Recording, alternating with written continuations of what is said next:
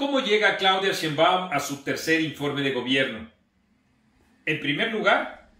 llega dentro de una sucesión adelantada por el presidente López Obrador como el principal alfil del presidente para sucederlo. Y por eso, ella llega como un monigote o un títore que replica todo lo que hace y dice Andrés Manuel López Obrador, por esa relación estrecha y para afianzar, por supuesto, el favoritismo presidencial en esta dicha sucesión. Llega también con una enorme estela de soberbia. Es una mujer que no escucha.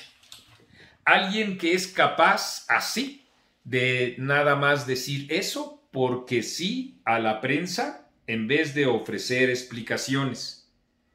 tosuda y necia, confundiendo esa tosudez y necedad con los principios, se aferra una y otra vez a las decisiones que ella misma toma y que generalmente son verticales. Como la modificación de esta casa, que es la casa de todos, y no me refiero a la casa solo de los ciudadanos de la Ciudad de México, sino del país entero, sin ningún tipo de consulta ni nada, y siempre anteponiendo esa visión ideológica de la llamada descolonización como si eso fuera lo importante en la gestión de la urbe. Llega entonces también como una funcionaria incompetente e insensible, como la principal responsable de la tragedia del 3 de mayo, que arrojó muertes y heridos para con quienes ella no ha tenido ninguna empatía llega también como el estandarte de la impunidad, porque no solo se ha defendido a ella misma, sino a distintos otros compañeros de partido, como Mario Delgado o como el propio Marcelo Ebrard, para ocultar así, metiendo bajo la mesa a los principales responsables de dicha tragedia que ella consideró como un incidente. Llega entonces también en el marco de la fiesta pletórica del discurso populista, llega no como una funcionaria del gobierno y no solo también como títere de Andrés Manuel López Obrador, llega como una mujer en campaña,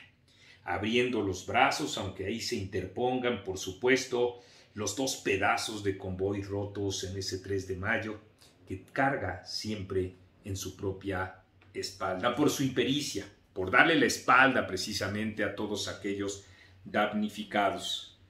Así llega Claudia Sheinbaum, como un símbolo de lo que es este gobierno autoritario, demagogo y populista, y como un símbolo también del riesgo que representa para el país esa continuidad que ella misma representa para Andrés Manuel López Obrador.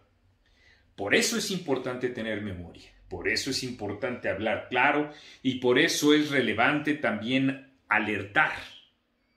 sobre lo que ella significa